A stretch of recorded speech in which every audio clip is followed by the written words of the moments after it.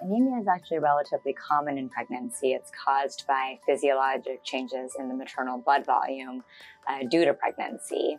Um, we typically screen for anemia once in the first trimester and then again in the early part of the third trimester. Um, if anemia is diagnosed, we think that it's mostly due to iron deficiency. We typically recommend increasing oral iron intake from foods um, or by taking an iron supplementation.